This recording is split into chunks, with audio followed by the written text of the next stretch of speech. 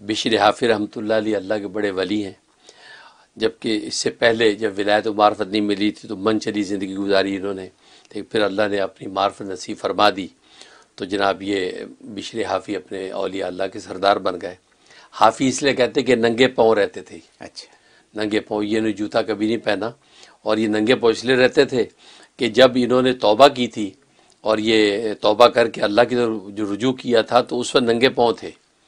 तो ये कहते थे कि अल्लाह से जब मेरी सुलह हुई तो मैं नंगे पैर था लिहाजा मैं हमेशा नंगे पैर रहूँगा ताकि मुझे वो सुलह का वक्त याद रहे कि इस हाल में मैंने अल्लाह से सुलह की वो भी एक मुस्तकिल अलग वाक़ है लेकिन आज एक और वाक़ सुनाना मकसूद है।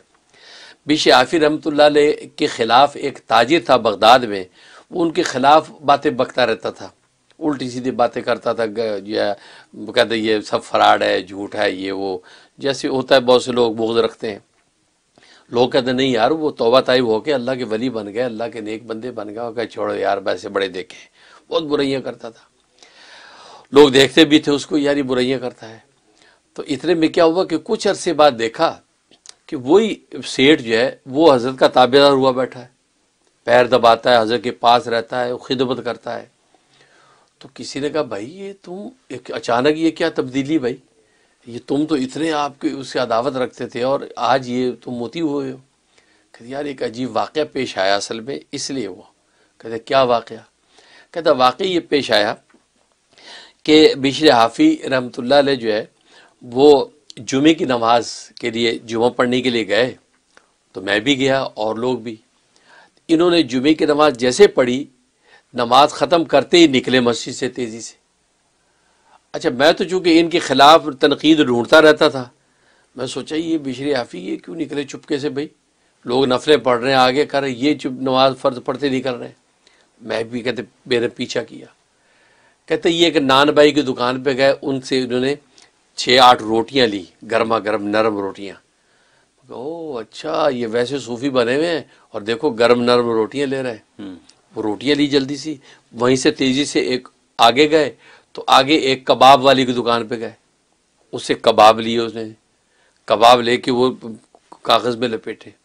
अच्छा देखा, ये सूफी अहम लोगों के सामने बना हुआ है, बड़ा जाहिद और देखो कबाब और गर्म रोटियाँ। कहते मैं पीछे पीछे, उनको पता नहीं। उसके बाद वो आए हलवाई की दुकान पे। गर्म गर्म हलवा लिया।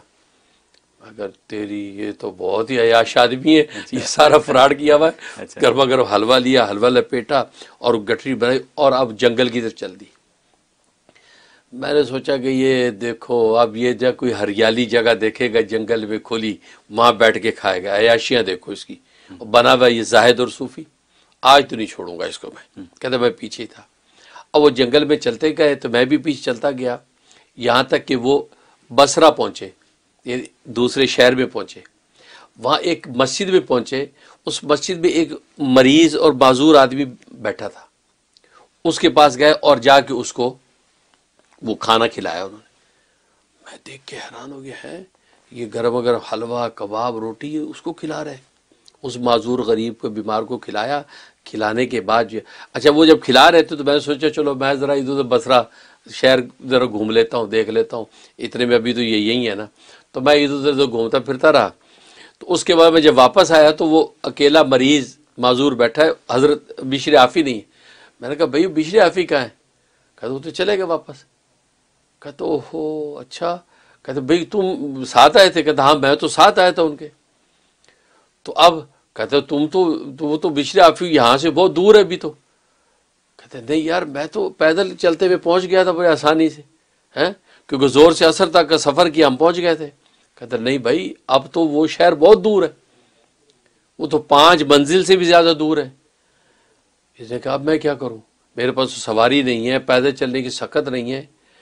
तो मैं वापस कैसे जाऊँगा? कहा कि, आप अगले जुमे तक के इंतज़ार करो कि अगले जुमे फिर वो आएँगे मुझे खाना देने के लिए। तो वरना तुम पैदल ही जा सकते। क्योंकि हज़रत बीश हाफी का तय्युल अर्ज़ नसीब, तय्युल अर्ज़ का मतलब अल्लाह बहुत से अल्लाह वालों के ज़मीन को समेट देता है। जैसे रबड़ को नहीं समेट दिया, रबड़ खींचा तो बड़ा है, छोटा किया तो इतना सा हो गया। तो तय्युल अर्ज़ कहते हैं, इसी हदीस में आता है, अल्लाह तबारक व ताली अपने बंदों से बाद लोगों को तय्युल अर्ज़ का मुकाम अता कर देते हैं, उनके ज़मीन को सुकेड़ देते हैं, और वो झट से उस दूसरे शहर में पहुँच जाते हैं, झट से वापस आ जाते हैं। और आम हालात में जाएँ तो साल साल लग जाए। तो उस नज़म के तहत, उस करामत के तहत तो हज़रत पहुँचे थे साथ साथ ये भी पहुँच गया था। अब इससे मैं इंतज़ार करता हूँ। अब ये वहाँ इंतज़ार पूरा जुमा गुजर गया। हफ़्ते अगले जुमे को जब आए उसी तरह उन्होंने खाना खिलाया और ये पास बैठा था।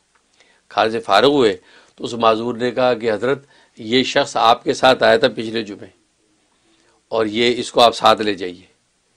तो हज़रत ने कहा था गुस्से से मुझे देखा कि तू क्यों आया था? क्यों हज़रत को पता था ये वही ताजिर है जो गालियाँ देता हम्म। कि तू क्यों आया था मेरे पीछे? कहा हज़रत इस बात को छोड़ दें। मैं तो बस कोई ऐप ढूँढने के लिए नक्श ढूँढने के लिए आपके पीछे आया था। लेकिन मुझे पता चला कि मेरा अपना बहुत बड़ा ऐप था कि मैं जो आपके पीछे लगा और आपके बारे में मुगलजात बकता हूँ हैं? ज़ाहिर क्या नज़र आता है और हक़ क्या निकले कि आप तो इतना लंबा सफ़र करके इस माजूर को खाना देने आते हैं। तो मैं जो तौबा करता हूँ कहा कि चल अभी चल मेरे साथ और ख़बरदार रहता ऐसी हरकत नहीं करना। क्योंकि अल्लाह तबारक व ताली के राम से हमारे लिए तो ज़मीन सिमट गई थी वरना ये तो साल साल का फासला है। चलो, उसके बाद कहता मैं उनके साथ वापस आ गया। कहता वो दिन आज का दिन हज़र के कदमों में होता हूँ, हज़र खिदमत करता हूँ और खुदा से मैंने तोबा कर ली। इस पर बुज़ुर्गों ने देखा कि देखो, अल्लाह वाले जो हैं, उनके ज़ाहरी हाल को देख के जल्दी से न बका करो। आजकल हमारे लोगों में बड़ी बीमारी है। सोशल मीडिया का दौर है, देख के फ़ौर तबसरा कर देते भाई, उस अल्लाह वाले को खुदा से क्या रबता है? वो बेचारा किस तरह ज़िंदगी गुजार रहा है, अंदर राज क्या है, ये वो जानता है। आप कोई तबसरा करने से पहले सौ दफ़ा सोचें। देखो, ज़ाहिर क्या निकला, बिशर आफी का और हकीकत क्या थी। तो आज भी बहुत से लोग जो सोशल मीडिया पे या वैसे औलिया अल्लाह के बारे में खानकाओं में बैठे मशाइ और पीर मुर्शदान के बारे में उल्टी सीधी बात भाग देते हैं, आज ये पीर क्या खाओ पी रहे हैं, अयाशी हो रही है मज़े उड़ रहे हैं। लेकिन नहीं, तुम्हें पता नहीं खून जिगर देकर वो क्या कर रहे हैं हैं? उनके आप ज़ाहरी मुस्कराहटे देखते हैं, रातों के अंधेरों में रोना आपको खबर नहीं है। रातों के का रोना आपको खबर नहीं कि खुदा से क्या मांगते हैं, तुम्हारे लिए मांगते हैं। इसलिए किसी के बारे में, तभी तो हदीस में आता है, अलीकुम बिजन किसी के बारे में कोई भी गुमान तय करने से पहले मोहतात रहो, क्योंकि आप एम अपनी तरह से गुमान अज्यूम करके आप बातें करते हैं। ऐसा ना करो, क्योंकि हो सकता है कि वो बहुत से ऐसे गुमान तुम्हारे गुनाह बन के तुम्हारी गर्दन पे आ जाए। इसलिए नाजरीन से भी नसीहत है कि किसी अल्लाह वाले के बारे में झट से जल्दी से कोई तबसरा ना करें, तामुल करें हाँ यकीन के दर्जे तक, पाए सबूत तक चीज़ पहुँचे। अब बोलें, वरना आपसे नहीं पूछा जाएगा कि वो बंदा ऐसा बुरा था तो तुमने बुरा क्यों नहीं कहा? आपसे आपके बारे में पूछाएगा आपके अंदर जो ऐप है, आप उसके जवाब दें, दूसरे के ऐप के बारे में आप जवाब दें, नहीं है।